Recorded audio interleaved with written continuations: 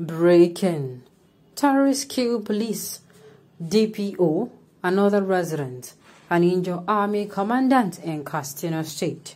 Welcome to the news and thank you for tuning in to listen. A senior military officer and the army commandant on the local government area was also injured during the attack. Terrorists, otherwise known as bandits, have killed the divisional police officer, DPO, in Mangama, Jibia, Jibia local government area of Katsina State. What is happening, Katsina people? Unfortunately, Katsina, Katsina is where the president, the sitting president, comes from. What exactly is going on in Katsina?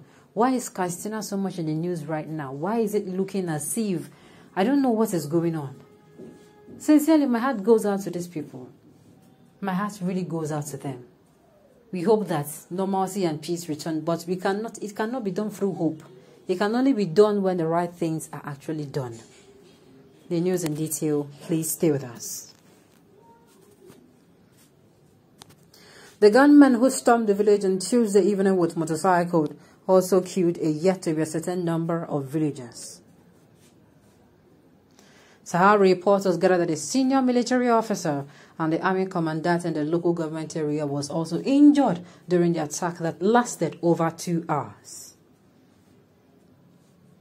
The attack comes a few days after 13 people were killed and many others abducted by bandits in three Katsina local government.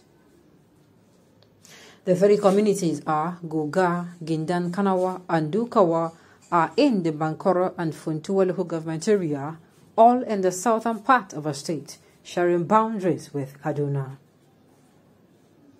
Katsina, despite being the homestead of a President Muhammad Buhari, has witnessed sporadic attacks by bandits and kidnappers that have claimed the lives of many. That is why I'm saying this. What exactly is the problem? What exactly is going on?